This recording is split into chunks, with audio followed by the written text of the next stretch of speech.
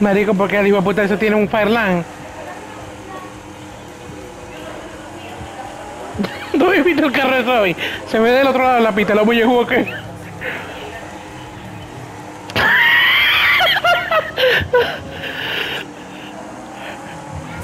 ya, ya está bueno.